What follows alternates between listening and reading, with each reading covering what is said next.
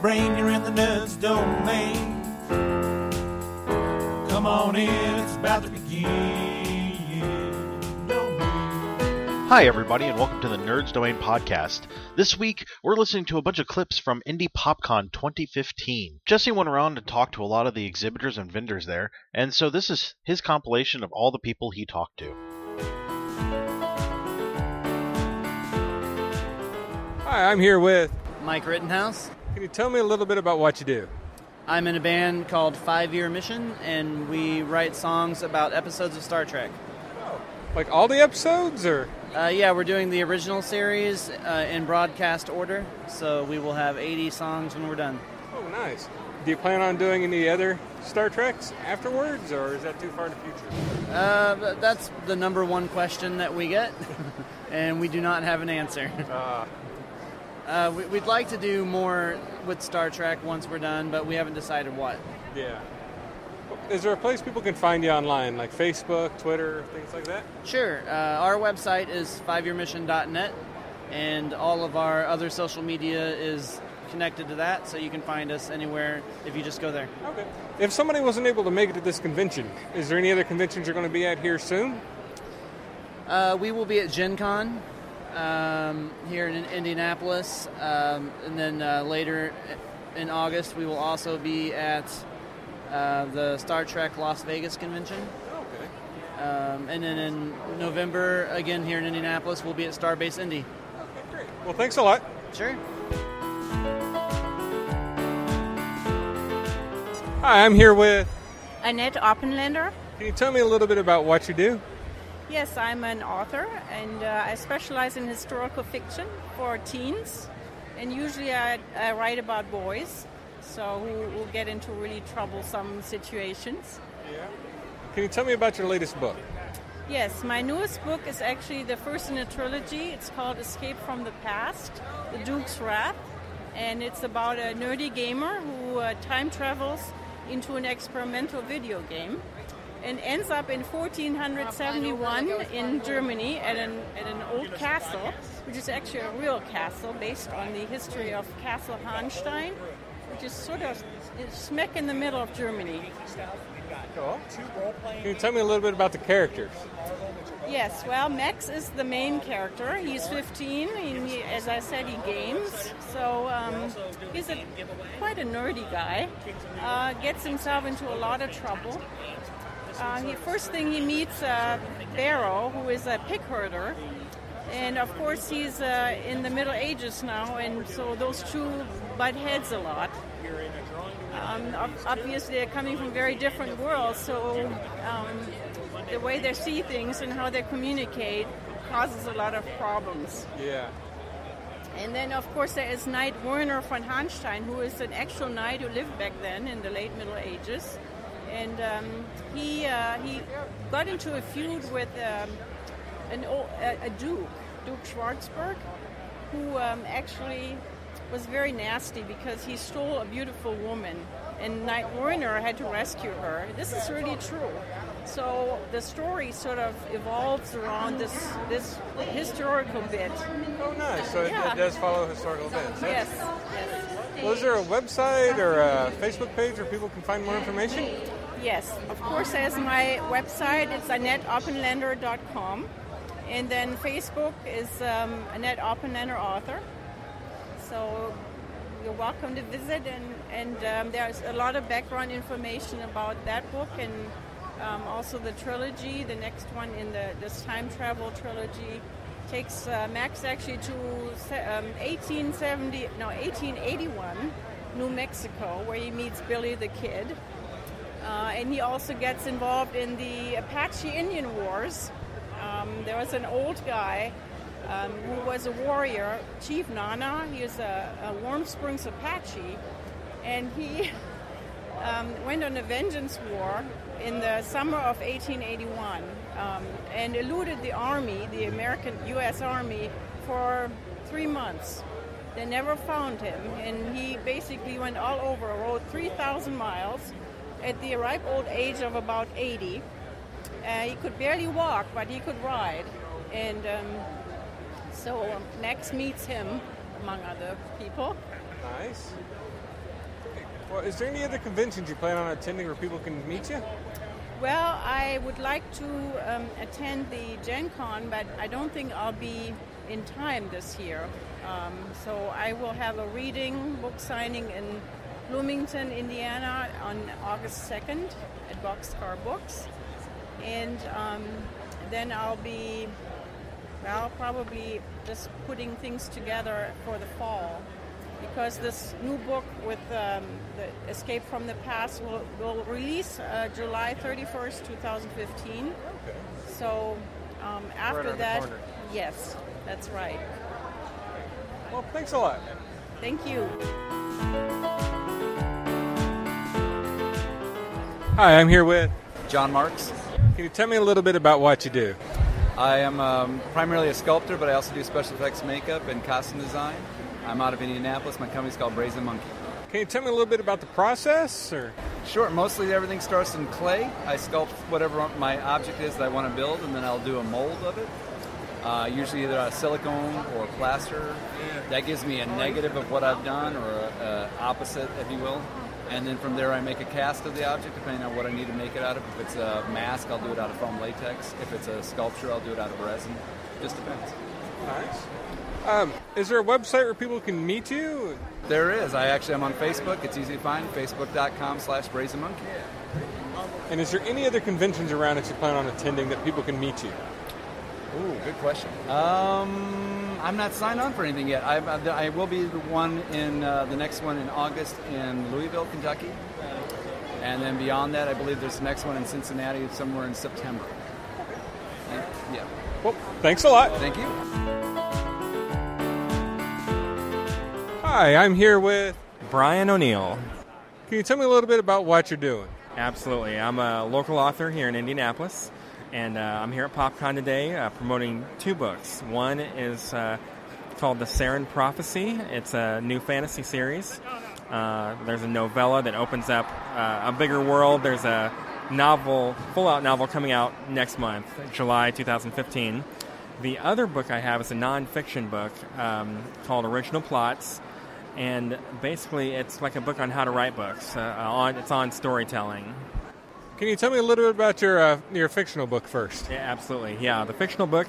Uh, it it starts out in a kind of sword and sorcery world. Uh, there's a, in the novella there's a character named Kari, who is a, a, a barmaid, kind of like a, a medieval tavern uh, type situation.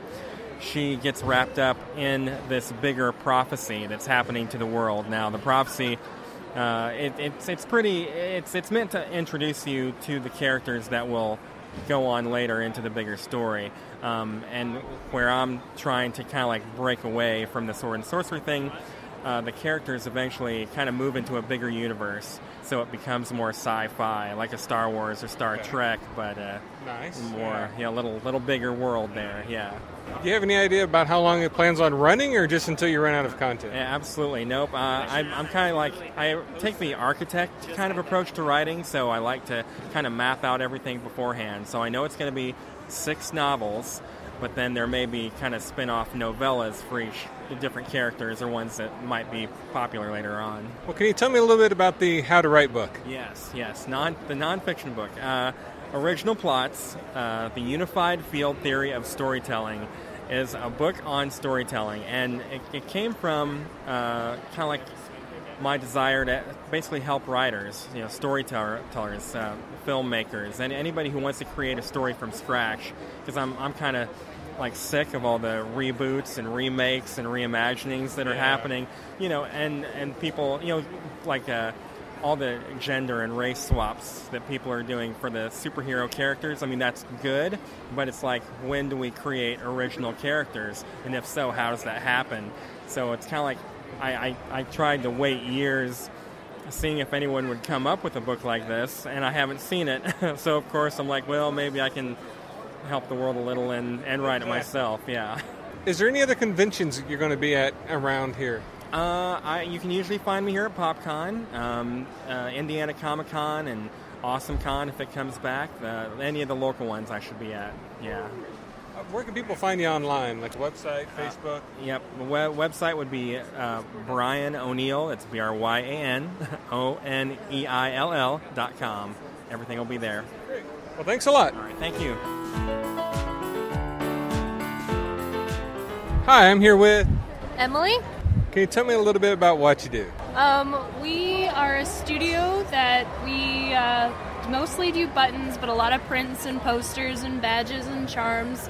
Kind of a very versatile group.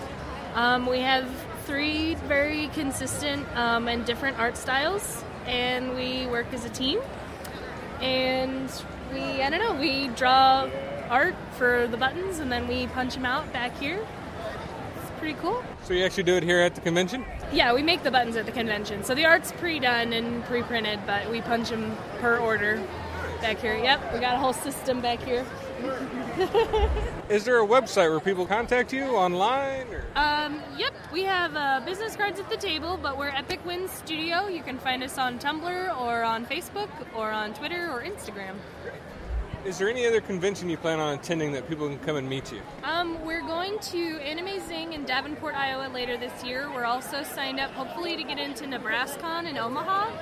And otherwise, there's a couple we're waitlisted on, but yeah. Well, thanks a lot. Thank you. Hi, I'm here with. Kfir Mendel. Can you tell me a little bit about what you do? Um, well, um, I do geeky cave art, sort of. Um, that's hence the name Cave Geek of my of my shop. Um, I used to be a primitive skills instructor and, and primitive hide tanner for a living. Uh, one thing led to another, and I started combining my, my geek and my caveman together. And so I take I usually I take uh, uh, traditionally tanned uh, deer skins, and by traditionally I mean it's the same way. It's, it's traditional brain tan buckskin, same way it's been done for tens of thousands of years. And I burn on it, and then if I paint, I paint with natural pigments using primitive tools, mostly a piece of bone and my fingers. Um, it takes a long time, but um, as you can see, Yeah. it does some pretty cool stuff. When you burn on the skin, it actually shrivels and shrinks just like your skin would. Oh, Uh, and it gives it a three-dimensional texture that Yeah. if you get good lighting on it, it actually pops out. Uh, so any of these pieces will actually look very, very different when you put them under the light. Even the maps they will do. pop out. How long have you been doing this? Uh, this art I've been doing for about three years. Uh, originally, I, I dabbled a little bit of burning on wood and burning. I did a couple little pieces on buckskin, just just burning, uh, and then um, I used to teach primitive skills classes, uh, and one of the classes was using the whole animal, and we would tan the skin, and then we would use the eyeballs to make uh, a paint base out of, and then we'd paint on the on the on the skin as we tan and all that, and that kind of got me thinking, and I got I got started uh, actually three three and a half years ago uh, with a map of Middle Earth. It was the first Oh, thing I did. I went straight for a big project. Yeah. Uh, it was right when the first Hobbit movie was coming out, and I just got the idea in my head, and I, like I wonder if I can, and I could. And when I finished it, uh, I'm like, what do I do with this thing now? So I started posting it on uh, Lord of the Rings fan sites, and then found out that the OneRing.net was having a Tolkien art show in LA like the next month. Yeah. Uh, long story short, I ended up going to the to the art show with the map and a few other things that I'd made that month, uh, and then ended up selling the map. And I was like, "Ooh, I can do this!" Yeah. So just started doing more and more and more. Great. Well, is there a place online where people can find you, like Facebook? Uh, like? Facebook, look for Cave Geek uh, on Facebook, uh, Instagram. My website is cave-geek.com. So, Great. Are you going to be at any other conventions? uh, Boston Comic Con is my next one, in at the end of July, beginning of August. Um, other ones I don't know yet, but I will be. Thanks a lot. Thank you. Hi, I'm here with. Sig Neutron. Can you tell me a little bit about yourself? Uh, well, I you know I do makeup effects. I was on Face Off season seven. Um, I was a finalist, and it was probably the best thing I've ever done in my life. So it was very enjoyable. Oh yeah, I like if they do any seasons where they bring people back, I would go back in a heartbeat. Well, you say you do the makeup and stuff. Can you tell me a little bit about the process, or? Yeah. Um, so basically, you do a sculpt, you do a life cast your model, you do a sculpture on top of that, you mold that, and then you run the foam, and then uh, you apply the apply and paint the a prosthetic. How long have you been doing this? Uh, since 2007, which is the year I graduated high school. I uh, as soon as I graduated high school, I went to the Tom Savini's Makeup Effects School. And two days after I graduated there, I just drove straight to LA. I didn't even know anybody. I was just like, I got to do it. Nothing like taking a gamble. Nope, I know. That's I like to live dangerously. Is there a website where people can see your works, or Yeah, uh, bizarroaugogo.com is B I Z A R R O A U G O G O dot com. okay? And is there any conventions you're going to be at anytime soon where fans will come see you? Yeah, we're uh, as soon as we get back, we have to finish up our costumes for San Diego Comic Con. So we also have a booth there. I think usually we're always at the same booth. I think it's booth 1633. Yeah, so if you're at San Diego Comic Con, come by and say hey. Well, thanks a lot. And thank you. Hi, I'm here with. Elspeth Eastman. Can you tell me a little bit about what you do? I am a voice actor for video games and assorted media. I am actually uh, probably more well known for the voice of Tristana in League of Legends. Okay. Yeah. Can, can you tell me a little bit about the process, or? Yeah, basically what they'll do, um, if you're with a director, if you're with a team, they'll give you a script and you read it off and you laugh at your mistakes and they tell you, all right, that was good. Can you do it five more times? Oh. So it's it's um it's a really really fun process, and uh, it's cool hearing the character in game. Um, and I play League of Legends a lot, so it was really weird at first. Do you have anything in the works that you can talk about? uh, yeah, actually, there's a game called Starr Mazer that's upcoming, hopefully coming out next year. Um, there are a couple other things that are uh, going to be announced this summer that I can't talk about, but they're very big and very exciting. So yeah. Is there a Facebook or website where people can con- contact you, or? Yeah, absolutely. Um, you can follow my Twitter, which is Elspeth Eastman, E L S P E T H E A S T M A N, um, or you can go to facebook.com slash Elspeth Eastman Audio. Great. And is there any other conventions that you plan on attending? Yes, I'm going to be at uh, PAX Prime, and I'm also going to be at TwitchCon, and both of those are in Seattle and San Francisco, respectively. Great. Well, thanks a lot. Thank you. I'm here with. Ernest Gibson. Can you tell me a little bit about what you do? I'm a writer. Wrote a sci-fi book about good against evil. It's called The Serpent's Gift, where heaven and hell are real planets, Okay. and it's a battle for galactic power. Can you give me about an idea, like the uh, the page count, how long it takes to get through, or?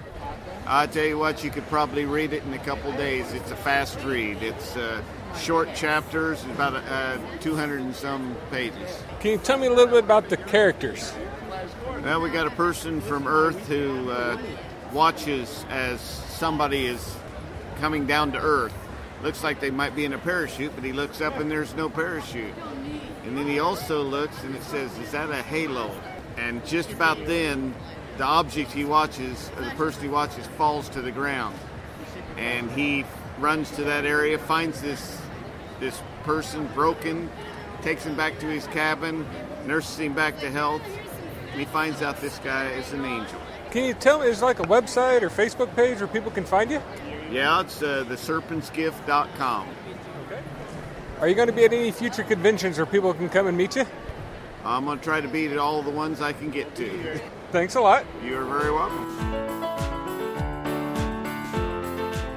Hi, I'm here with. Big Don from the Established Facts. Can you tell me a little bit about what you do?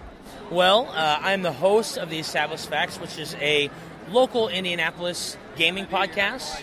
We discuss all things gaming. We're a roundtable style discussion uh, podcast, normally five to eight people at any one time.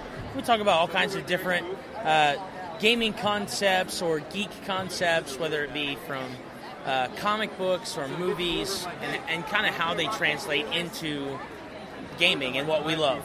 Yeah. Nice. So, how long you guys been active? Well, uh, we're actually getting ready to celebrate the end of our fourth and beginning of our fifth year of production here in July. So, where can people find you? Uh, we have a website, uh, www.theestablishedfacts.com. We also have a Facebook page. Just uh, look for the Established Facts on Facebook. Uh, we have a Twitter. Uh, IndyTEF is our Twitter uh, Twitter handle. Uh, we have Google Plus. We have all kinds of different media outlets. So, Nice. Is there any other convention you're going to be at where people can meet you? well, uh, we are always attendees at uh, Gen Con. We're usually wearing our podcast shirts, so if you see us, you can flag us down. Uh, and we try and promote all of the local fair uh, and try and get to them as often as we can. So, well, thanks a lot. Hey, no problem.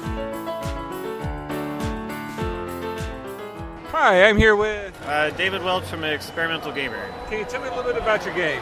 Uh, right now, we're demoing Boot Hill Bounties uh, at Indy PopCon. It's a sequel to uh, Boot Hill Heroes and the continuation of that three-part saga. Is the gameplay the same as the first game, or have you changed a little? Uh, it's changed a little. The general fundamentals are the same, but there's a lot of new features and overhauls of different systems that make it feel uh, fresh and improve upon the existing engine. Can you tell me a little bit about the theme of the game and the setting?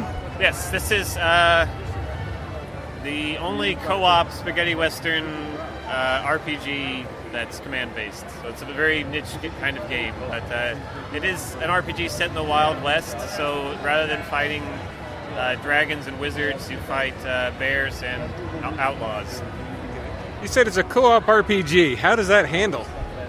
Um, it can be. You have four different uh, party members you gather, uh, so that means you can have up to four different people playing. You just assign which character you want to be controlled by which input device, so you can have any combination of whichever uh, players and characters, and they can drop in and drop out anytime. Can you tell me a little bit about the characters?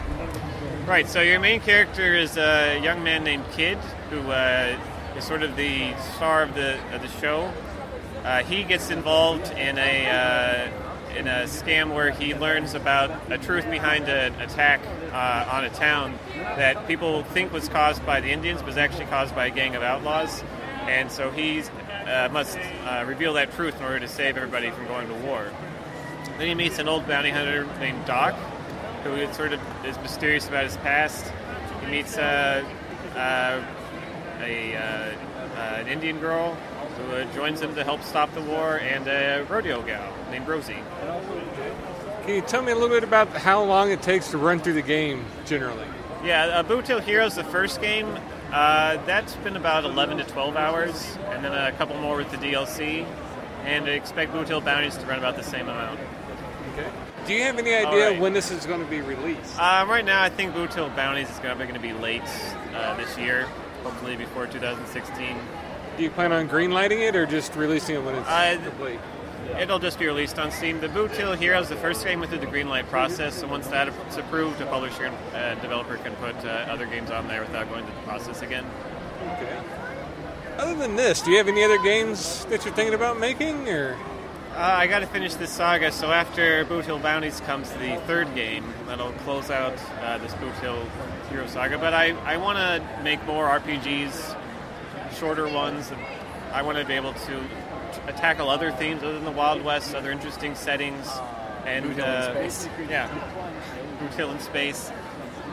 Know, I, I sometimes kick around like, what are weird things that could be get in the RPG treatment? Like I don't know, like a dinosaur RPG or who knows, stuff like that. I always tell that to people. Like, yeah, dinosaurs. Like a party of like a T Rex, a pterodactyl. That'd be fun. So I want to I want to tackle different themes like that and, and make a lot of uh, kind of these short retro games that kind of uh, older players who grew up playing these kind of games would really appreciate and uh, but also don't have a lot of time. That's that's that's another thing. Is like it's it's you want to play like a short game that's like four to five hours. This isn't that. Hill Heroes is a much longer saga, but that's what I'd like to move on to after this. is there a website or Facebook where people can get a hold of you? Uh, yeah, the uh, we're at experimental experimentalgamer.com, and uh, the, our Twitter handle is at Boot Heroes. Is there any other conventions you're going to be at around where people can meet you? Yes, uh, I'll be at the Video Game Summit in uh, near Chicago. It's kind of small. And I'll also be at Camp Fangamer. That is uh, a big um, con, new con for Earthbound fans, uh, the, and the Fangamer website. And um, what do you know when I think that's all for a while. Yeah. Well, thanks a lot. Hi, I'm here with. Uh, Kevin Florkowitz of Five Flavors of Anime Gifts. And Caitlin Hay of Soul Strings Jewelry. Can you tell me a little bit about what you guys do? Well, I make jewelry. Like I make custom rings, bracelets, necklaces, earrings, and I like to kind of add color to it. You know, like they're mostly video game inspired. Um, I do uh, custom painted video game consoles. I do mostly cases for 3DS and things like that. Um, just they start out translucent. I get custom decals, paint them, clear coat them, things like that. Um, and we're together. We actually designed some uh, plush toys that we're trying to have kickstarted later this summer. They're called the Botanic Cuties, kind of garden themed, play on word things. And uh, yeah, that's pretty much what we're doing. Do you guys have a website or Twitter where people can follow you? Um, yeah, we both have an Etsy store. Uh, mine is uh, etsy.com slash shop slash the number five flavors of anime gifts.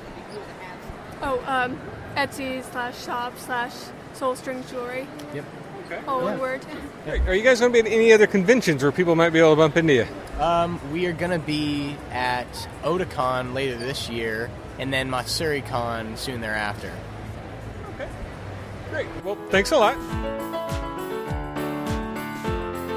Hi, I'm here with. Happy Badger Studio. And I'm Ben. I'm Dana. Can you tell me a little bit about your product?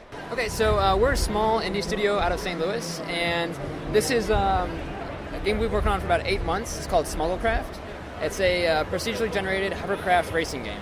Can you tell me a little bit about the storyline behind it? Um, so the storyline uh, is actually being worked on by Carol, who's over there. Um, so it, unlike most racing games where the story is like, you know, win the Grand Prix or get the Gold Cup, which is really boring, um, ours is a branching narrative uh, based on the fact that you're a smuggler.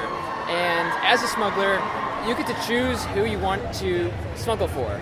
And so you can smuggle for the like the bourgeoisie, the uber rich. Uh, you can smuggle for politicians. You can smuggle for um, like a rebel group, or you can smuggle for like the common man, the laborer. And depending on who you help and what jobs you do, can sort of uh, impact the uh, the outcome of you know of your world and change uh, what happens in the end.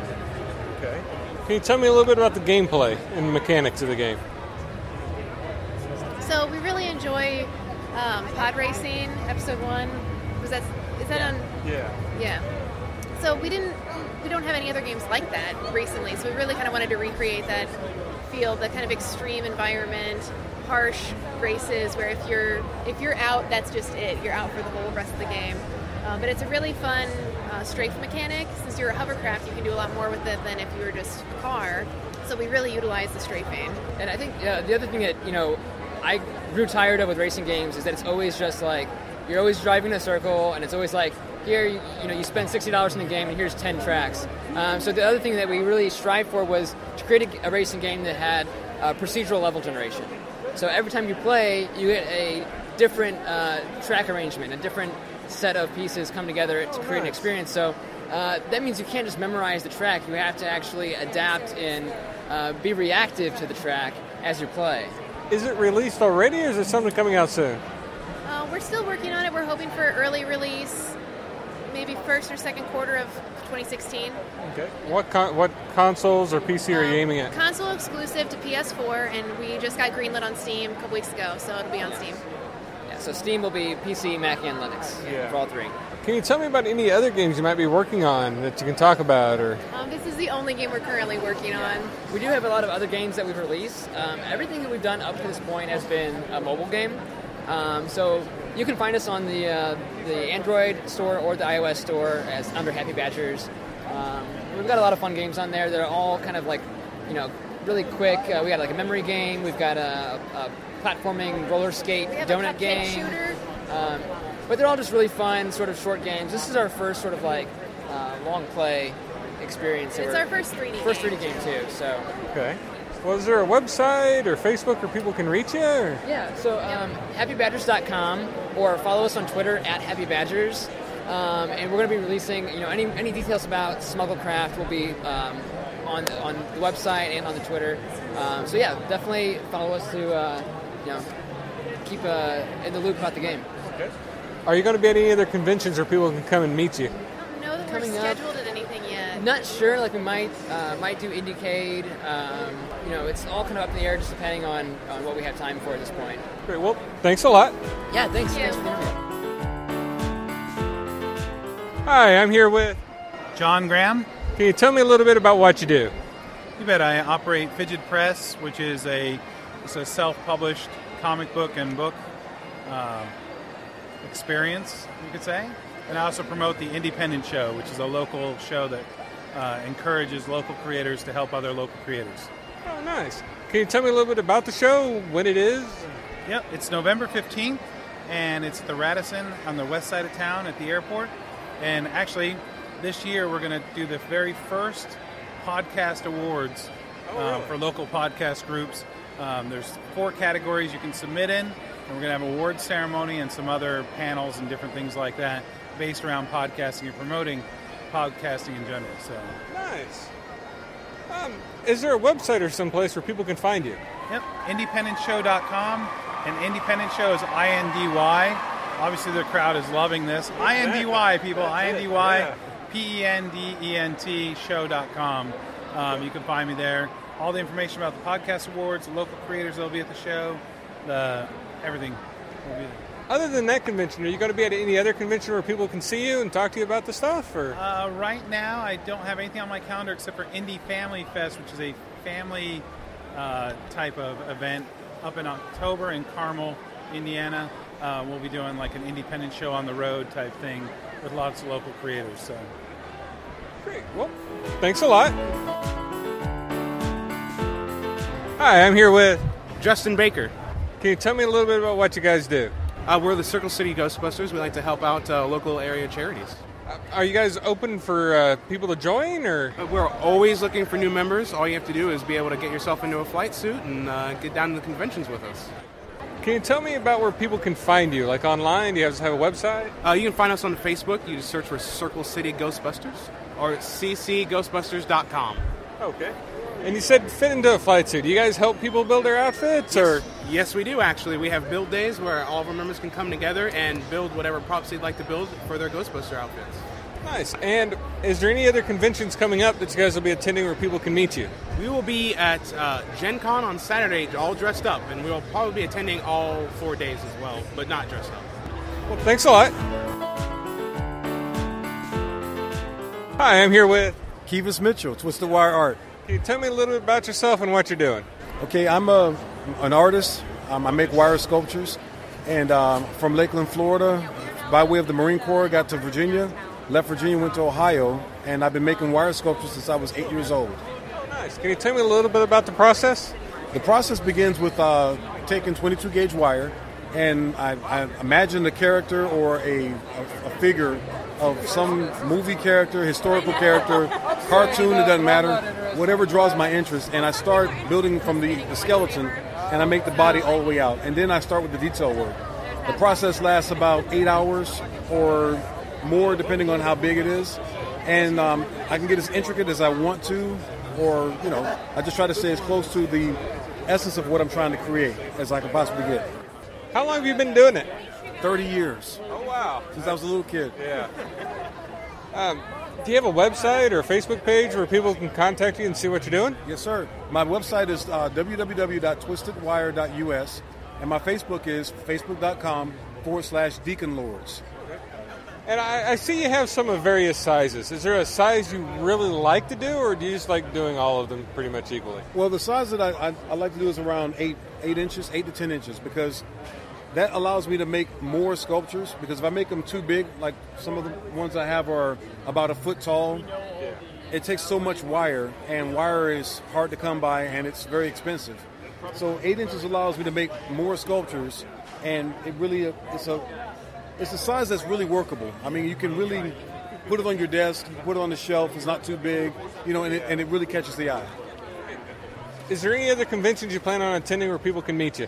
Yes, I'll be at the uh, Cincinnati Comic Con and the Cincinnati Expo, and I'm also going to the Waynesville uh, Sauerkraut Fest. Oh, really? I heard it's pretty big. It's in Ohio. We're going to try it out and see what happens. Well, thanks a lot. Thank you. Hi, I'm here with. Lola Hart. Can you tell me a little bit about what you do? Uh, I am a cosplayer. Uh, I've been going to conventions for about 15 years now. Um, cosplayed at pretty much every single one of them. Uh, and I'm here at PopCon today uh, for with a booth selling prints of myself that uh, all the funds are getting donated to charity. Oh, nice. Can you tell me a little bit about the process of coming up with an outfit? Um, it all starts off with an idea. Of course, I'm one of the crazy ones who has a list of things that they want to do. Um, and depending on how crafty I'm feeling, I either make it myself or I go to the thrift shop and piece it together. Because in the end, cosplay, it, even though a lot of the judging and whatnot has to deal with craftsmanship and how much you put into it, the most important part is just having fun with it. Is there a place people can find you online, like a website or Facebook? Of course, um, on Facebook it's Lola Hart. That's L O L A H A R T. And is there any other conventions you plan on attending soon that people can see it? Um, I have a list of conventions, but my next big one is going to be uh, IkasuCon and MatsuriCon in August as well. I'm running the burlesque show there, uh, and Gen Con here in Indianapolis. Well, thanks a lot. Hi, I'm here with. Jackie Croft. James F. Wright. Can you tell me a little bit about what you guys do and your product? Uh, we make a comic called Nutmeg. It is like Betty and Veronica meets Breaking Bad, and I do all of the art and the coloring and the lettering, and James does the writing. So, Can you tell me a little bit about the storyline? uh, yes, it's about these two girls, they're best friends, Poppy and her friend Cassia, make these really addictive brownies. They uh, attract the attention of the Lady Rangers, like the Girl Scouts, who have their own brownie baking operation in town. They're mustang on their territory, and then into that rivalry comes the teen detective Ginger, her best friend Ennis edits the school paper, so the cop and the journalist have to team up to bring down the crime organization of brownies that's rising in their midst. So it's like a rise and fall crime story, just all 13-year-old girls. Uh, it's a lot of fun, a lot of fun to work on. So. Can you tell me a little bit about the art style? Um, the art style is kind of like pastels, softer tones. We wanted to give it like a soft feel, but it has this kind of undercurrent of like crime beneath that nice, like shiny veneer. Can you tell me about how long the comic plans on running, or do you see an end in sight at all? There's an end in sight. Uh, 15 issues is what we're looking at uh, total. Uh, we have the first three issues are actually we have at our table here. Um, Jackie is now working on issue six. I'm writing issue 10. Uh, so we're almost there. Actually, we're we're, we're getting there. Uh, Sort of almost there. sort of almost there. Do you guys have any other future projects planned that you can talk about? Uh, Jackie and I, I pitched Jackie an idea uh, a couple months ago, actually. Now, uh, a follow-up we want to do to this one, uh, not related in any way. Just I want to work with Jackie again on. Uh, it, it's a magical girls thing with uh, teenage girls with magic powers, and they're kind of jerks. so I want to try some. We're working, that, that's that's that's the next thing I want to work on, work on with Jackie. Uh, I've got some other stuff in the works. Um, can't really talk about yet, but. Uh, but Yeah, I'm excited for it. Is there a website where people can see your stuff online? There is. We have our site, nutmegcomic.com, and we also update on Twitter and Facebook a lot. Just look for Nutmeg Comic. So yeah, on, on Twitter uh, at Nutmeg Comic, uh, Facebook is just Nutmeg Comic. Uh, Facebook. Uh, you can email us at nutmegcomics plural at gmail.com. Uh, that's it. Yeah. Great. Are you going to be at any future conventions where people can come and meet you?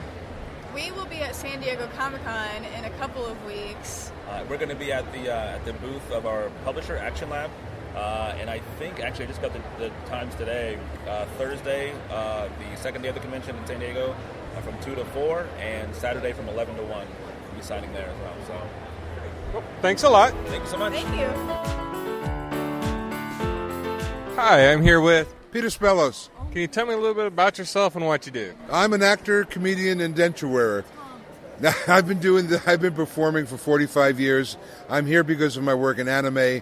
I was the voice of Skybyte on Transformers and Meramon on Digimon and Outlaw Star. But I've also had a very fortunate film and TV career: Men in Black 2, Heartbreakers, City of Angels. About over a 100 films and TV shows. Oh, nice. Yeah. Can you tell me a little bit about the difference between doing voice acting and standard acting? Well, it's a different skill because when you're voice acting, it's all about it's all about the voice. It's all about sitting in a room with a television set and having a skill where you can match the lip movements if you're recording from already made animation.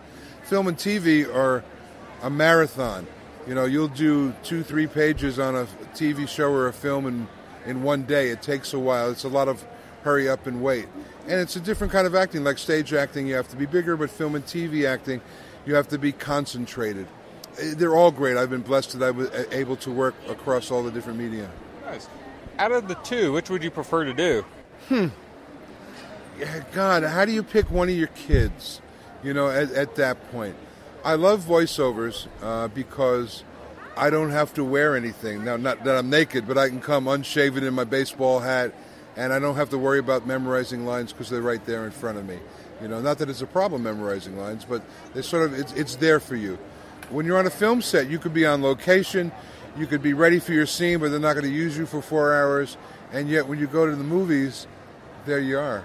Yeah. You know, on the screen or on the TV show. So, I, I to answer your question, I can't pick. Uh, whatever they hire me for, that, that's how it was taught to me. Be able to do whatever they want you to do. Oh, that's good. Do you have a website or Facebook page where people can find you? I do absolutely. You can go to Peter Spellos on Facebook and make sure you go to my page and not the fan pages, so you get in touch with me. I have no social media guru. I do. When you're speaking to me, you're speaking to me. At P Spellos on Twitter, Peter Spellos no spaces lowercase on Instagram. Contact me, say hi, tell me what you're doing, and we'll have a conversation about life. Great. Do you have any projects coming up that you're capable of talking about? Um, no. And it's a, you know, I might be doing a film here in Indiana in September, which is great. But right now, I live back in New York. I help take care of my 94 year old mom, and that's that's my best project in the world. You know, so I'll, I'll be working again. Hopefully, I'm going to be doing more of the con circuit, and I'm definitely coming back to Indiana. Great. Do you know of any conventions you plan on attending soon that your fans can see yet? You know, I haven't been booked for anything. Um, I did uh, Auto Assembly in the UK last year. They're doing their last one. Maybe Cincy Comic Con. Um, it's kind of hit and miss. Whatever you know, whatever they bring you in for. I think this one will help me do a couple more. But uh, I'll keep in touch and let you know what I'm doing. Great. Well, thanks a lot. Hi, I'm here with. April Place. Can you tell me a little bit about what you do? Yeah, uh, basically, I'm the project manager for Return of Aetheria. It's an IUPUI made game by the students, for the students, for the players here at the cons. We demoed it at Comic Con, and that was just with one of our featured games. It's the mini game, the big, huge touchscreen table. And so we had over a thousand people play that, ga- that game during those three days. So we figured, let's do it again. Let's go to Pop, Comic or uh, PopCon. We already kind of had an agreement with them. We went there last year and did this whole shebang, but this year it's, we brought new elements to the table. We have the Oculus Rift with the working fans and the heat lamps and this audio and everything. It's absolutely wonderful. It's built this box and everything. And then we also have our mini game table. We didn't have that last year, and we it was a great hit at Comic Con, so we thought let's do it here as well. And uh, yeah, it's just an alternate reality game that we decided to put together, and this is the third and final year for it. So Oh, really? they're not going to do it ever again, but we have a lot of return players that are really sad about that. Yeah, so you're Yeah. not going to have it at any other conventions Um, after this year? I mean, Grand Rapids had asked us about something like that during Comic Con, and we got a lot of things from. we got a lot of uh, other people that were interested in other cons, but they all want it for next year, or, you know. And so, and I'm I graduated this year, so I'm just continuing it to make sure this thing works really well. Yeah. And but I'd love to go to Grand Rapids Comic Con. It's not till um, I think October sometime, but it does cost money, so that's the only thing. Yeah, and IUPUI already sponsored this whole thing, so yeah. But it's a lot of fun, definitely. Can you tell me a little bit about the game itself? Or? Yeah, uh, basically it's the world of Aetheria. So Aetheria is another term for magic. So basically this is the last chapter. We have an evil evil Esper and evil Nether, and they're both dark forces working against you the whole time. And you're the hero. You're the one that's going to be this next spirit champion. You're trying to overthrow his power and his evil champions and become the ultimate one. So the top four players are going to be those next champions, and they actually get to battle off with Nether at the very end. And we have a whole other mini game they get to play, and they have to shoot arrows at them and magic and all craziness. So we have a big finale for that at the very last uh, day. But you spend your time, you sign in, you spend your time questing, and it's an alternate reality game that's on top on our kiosks. You sign in with your RFID card and everything, and then you just start questing. We have uh, game designers in the back corner that will help you on your journey and will give you the room codes. And once you finish the quest, you get room codes. You put that in, and you progress through the game. So oh, yeah, yeah. So it's a lot of fun. The Oculus is just a basically a trailer of what's going on. It tells you the story, all that jazz. You know, the land of Aetheria. It shows you what was and what's to come if something goes wrong. You know. Yeah. And then uh, the mini cable is just every time you play, you sign in with your RFID card, you get points, that kind of thing. So, yeah, yeah. But we had uh, over 40 students on this project Really? working this year, and then we had 40 students the last year too working on it. So we've had quite a few hands on this. A lot of artists, a lot of programmers, crazy people. With this project ending, do you have any idea what the next project might be for them? Or Um, I do believe that next year it's going to be a smaller, smaller group of people, probably 20 people. There's not going to be a project manager like me. They're going to do totally professor run, and they're thinking about doing an app-based game, or possibly working with the museums, the local museums around. So like the Chicago Museum or the Indianapolis Museum, something like that, making Yeah. something fun, interactive for them to show and play. And, but yeah. But everyone's really sad. I mean, we have Yeah, return yeah. players that are like, "Oh my gosh, I'm so excited!" But then they realize it's the last year. So, Yeah. but they're working even harder. I mean, one person just surpassed a, a thousand points. So, Oh, really? yeah. So That's good. Yeah. I mean, and each quest, every uh, quest is like five or ten points, and that's it. So to Oh, get a really? thousand, you have to play a lot of quests. Yeah. Yeah. Is there a website where people can read more about the group? Yeah, definitely. Uh, returnofaetheria.org. Definitely look on there. You can see all the students that created it, all the previous sponsors and students, and then you can read up on the story and where we were, and Yeah. see some pictures of people. And, Nice. Uh, is this the last con it's going to be at, or you have yeah, another- the yeah, last it's, one? it's the last one, unless I convince my crazy professors to follow me to uh, the one up up north of Yeah. Grand Rapids. Yeah, but yeah. But, I mean, a lot of us love it. Yeah. All, all of us kids that are in it, we're going to be continuing to work together on other projects just because we work so well on this one together. Yeah, that's good. It Yeah. helps build a community and Oh, definitely. network. It's opened our eyes on how easy it is to make something this successful. And we're not charging any money for this. And we've already had 150 or 100, I think it's 160 now people sign up. And last year we only had 250 the whole three days. So Oh, yeah. we're already going to succeed it, you know, by a lot. Nice. Yep. Great. Well, thanks a lot. Yeah, definitely. Hi, I'm here with. Sarah Williams. Can you tell me a little bit about what you do? Uh, I am a voice actor for video games and anime and animation and commercials and stuff. Okay. Can you tell me a little bit about where people might recognize you from? Uh, I was Jinx in uh, League of Legends, Peacock and Skullgirls, Nonon Jakuzure and Kill la Kill, and Lisbeth and Sword Art, to name a few. Okay. Do you have any upcoming projects that you can talk about? Um, it was already announced, but I'm playing Sayu in um, A Lull in the Sea or Nagi no Asakura, Asakara, Asukara. There we go. And uh, that's due out on the June 30th, I believe. Can you, can you tell me a little bit about the process? Generally, you get sent an audition and you record, and it's a sam. And an audition is a sample script of what they, what you, what the character they want you to audition for, and you record that and you send the file back to them, and then they get a bunch of other files from other actors too, and they look, they listen to all those files and decide which voice that they like best, that matches best. And then, if you're lucky enough to get chosen, you go into the studio and you record the full script, and yeah. cool. Is there a place where people can find you on the internet, like a website or Facebook? Uh, I'm generally most active with fans on Twitter. That's um, at Sarah Anne Willie, and uh, Sarah with an H and Ann with an E. And Williams was supposed to be the Willie was supposed to be the end of my Williams uh, last name, but I couldn't fit it. So Oh yeah. you'll notice me by the peacock picture on my on my Twitter page. Okay. Are you going to be at any future convention? Uh, coming up, I'm hoofing back to LA for Anime Expo. And then uh, I'm going out to Canada for Anime Evolution, and then I'll be back in Canada again for AnimeCon. Well, thanks a lot. Thank you. Hi, I'm here with. Stevray Bro. Can you tell me a little bit about what you do? I do animation and illustration videos. Watch me draws on YouTube. Okay. What what channel would that be? Uh, Stevray Bro. How long have you been doing it? Uh, for about two and a half to three years long, and uh, it- I've kind of jumped from like last PopCon, I was at sixty thousand subscribers. Now I'm at 134, or 37, nice. somewhere like that. Yeah. Yeah. So, so what's the is the process any different doing it as recording doing it or Uh, I don't zoom in as much, so like if you zoomed in on my stuff, some of it might be a little bit sloppier. But like, because I keep uh, when I'm recording my screen, if I zoom in, out, zoom out, when you speed it up, it's going to give people seizures. So like, I I kind of set my computer when I do a piece for uh, for YouTube. I set it to where it, you know, it, it doesn't move around a lot. So I'm very self-conscious of the viewer.